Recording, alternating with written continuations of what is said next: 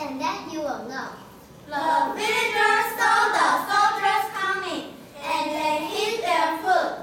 Each time the soldiers stopped at a house. The villagers said they had no extra beds.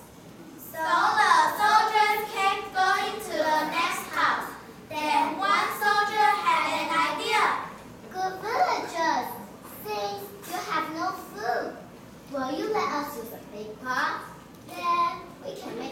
soup? What is soup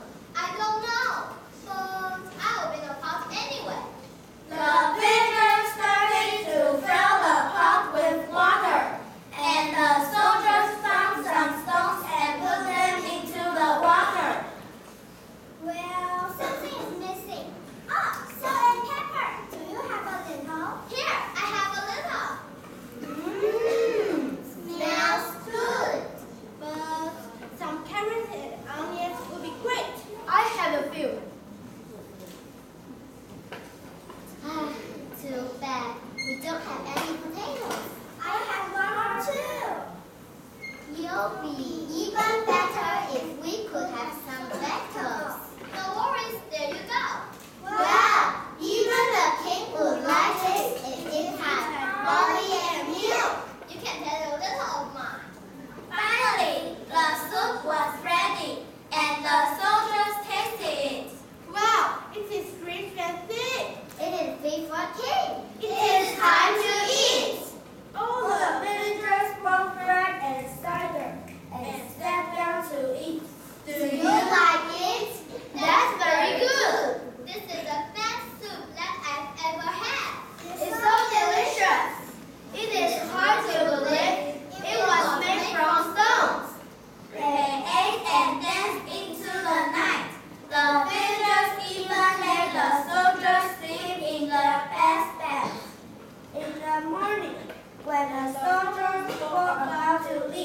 The.